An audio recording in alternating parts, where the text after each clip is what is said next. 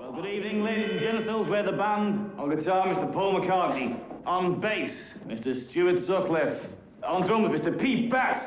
And on guitar, Mr. George Harrison. My name's Lennon, John Winston Lennon.